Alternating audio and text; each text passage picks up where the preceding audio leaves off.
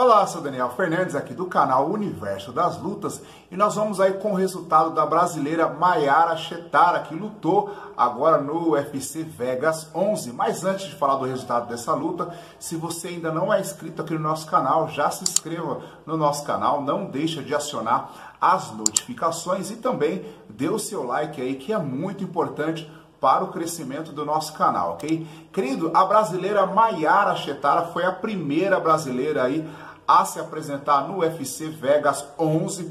Ela que está lutando aí no, no que lutou, melhor dizendo, no card preliminar do evento, enfrentou a italiana Romero aí na luta e com dois minutos aí de luta já conseguiu uma finalização incrível, uma chave de braço, uma chave de braço, um armlock na guarda que finalizou aí a italiana. A luta começou aí com a italiana é, indo para cima, acertou o primeiro jab, a brasileira respondeu com um chute baixo, só que a italiana colocou a brasileira na grade e após colocar a brasileira na grade, acabou dando uma joelhada no corpo da brasileira e girou e colocou a brasileira para o chão. Esse foi o erro dela. Quando caiu no chão, a brasileira já caiu na guarda e foi buscando o triângulo.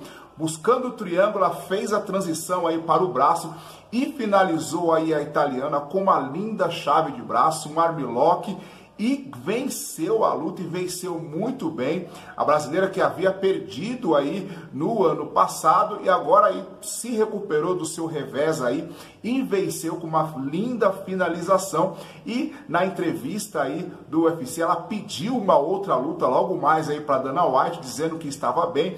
A luta terminou muito rápido. Ela é fera no chão, fera de jiu-jitsu agradeceu o seu mestre de jiu-jitsu aí na entrevista e foi muito bem aí na transição de, de chave de braço aí com ela na guarda, ok? Não se apavorou, ficou tranquila e venceu e venceu bem a luta, ok? Então esse foi o resultado da luta da primeira brasileira a lutar no UFC Vegas 11, ok? Se você gostou, não esqueça de se inscrever no nosso canal, dê o seu like, ok? Um grande abraço e até a próxima luta.